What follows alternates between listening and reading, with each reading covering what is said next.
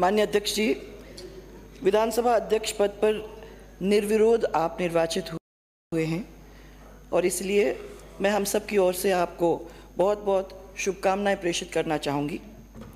ये लगातार आपकी पांचवी बार जीत हुई है और हम लोग इस हाउस में एक साथ कई दिनों के लिए बैठे हैं। आप जैसा जनप्रिय, ईमानदार और समर्पित जनप्रतिनिधि, हम लोगों के बीच पे आज इस कुर्सी पे बैठे हैं। इससे मुझे और हम सबको ये विश्वास है कि आने वाले समय के अंदर हम आपकी ओर से न्यायोचित कार्रवाई हम सब के लिए।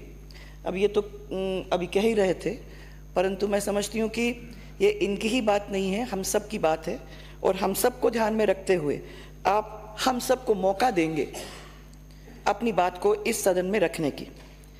भाजपा सरकार के अंदर आपने बहुत अच्छे अच्छे और बड़े पद एक दफ़ा संभाले हैं। चाहे वो शिक्षा का हो, चाहे उच्च शिक्षा का हो, चाहे ग्रामीण विकास और पंचायती राज के महत्वपूर्ण विभाग हों, आपने उनको बहुत ही तरीके से संभाला है।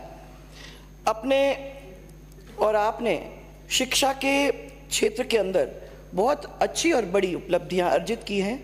मैं समझती हूँ कि आपके कार्यकाल के समय जो शिक्षा के अंदर हम लोगों ने कदम उठाए थे वो एक किस्म से सर्वमान्य रहेंगे। और ये हमारा सौभाग्य है कि आप जैसे एक एक्सपीरियंस्ड और अच्छे इंसान को इस सदन के अंदर इस सर्वोच्च पद पर आसीन होने का आज अवसर मिला है। ये सदन एक तराजू की तरह है। इसके दोनों एक किस्म से पलड़े बराबर होते हैं। एक तरफ़ पक्ष है, दूसरी तरफ़ विपक्ष है।